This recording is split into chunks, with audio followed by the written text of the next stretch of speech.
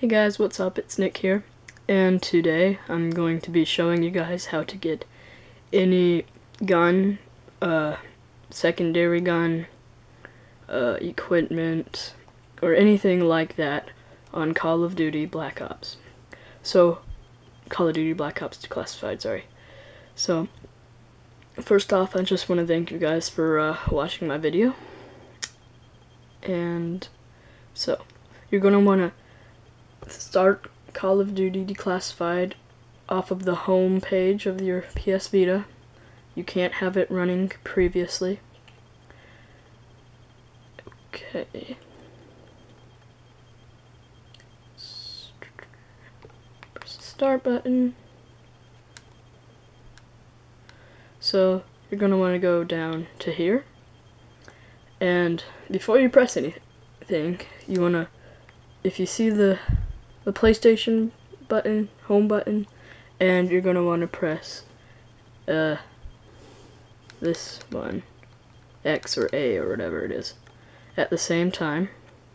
So, just like that. Then you're going to want to press continue. Yes. And then press cancel. So, then create a match and then press leave lobby. Press OK. Create a class.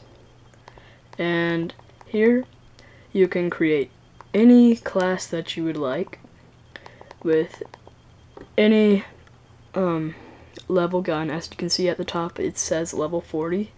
And in actual multiplayer, I'm level 38. So, if we go into here, do assault rifles. The FAMAS. This is a level 40 weapon. And you can get it. Choose whatever you want. And then what you have to do is go back. Close out of Call of Duty Declassified. Open it back up.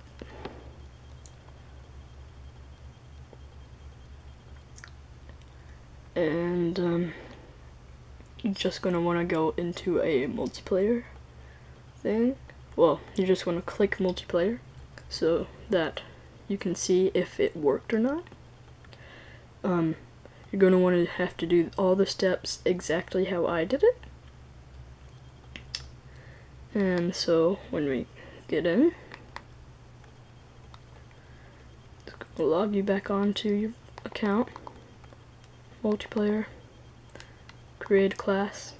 Now, see right there, it says 38, level 38, and look at that. I have the FAMAS, which is a level 40 weapon. I have it at weapon level 20. And, um, thank you guys for watching.